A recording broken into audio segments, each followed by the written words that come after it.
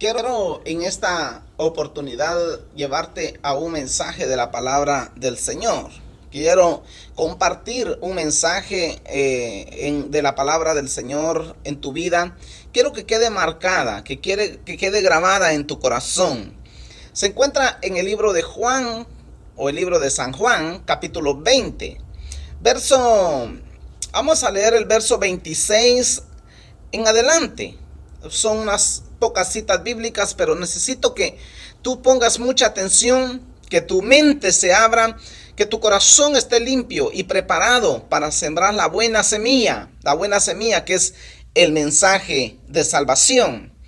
Ah, dice la palabra del Señor, ocho días después estaba otra vez sus discípulos dentro y con ellos Tomás. Luego Jesús está estando las puertas cerradas y se puso en medio de lo de en medio y les dijo, paz a vosotros.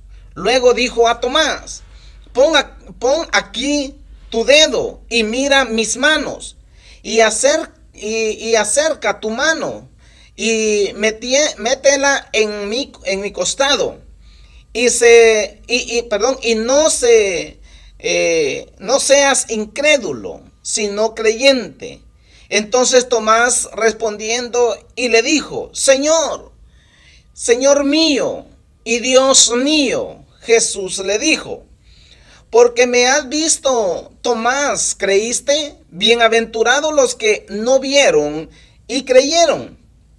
Aquí lo que está hablando la palabra del Señor es que nosotros tenemos que creer, creer en el Señor sin haberle visto, solo porque le tenemos en el corazón.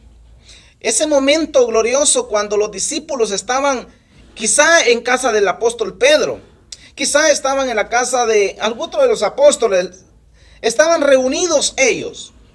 En ese momento Jesús se pone en medio de ellos cuando las puertas estaban cerradas. ¿Tú qué, qué, opinas? ¿Qué piensas? Jesús se aparece a ellos sin abrir la puerta, solamente se aparece. Sea que lo que sucede es que Jesús ya estaba en un cuerpo glorificado. Era un cuerpo glorificado en el que Jesús ya estaba, ya había resucitado dentro de los muertos. Entonces lo que sucede es que ahora, ahora Él ya tiene un cuerpo diferente. Y ahora Él se aparece y le dice, Tomás, ¿por qué has dudado? ¿Por qué dudaste de la palabra que yo le di? Ven, mira mis manos, mira mis, mi costado, fue herido, fue lasegado, fue lastimado. Ven, mete tu dedo en mi costado.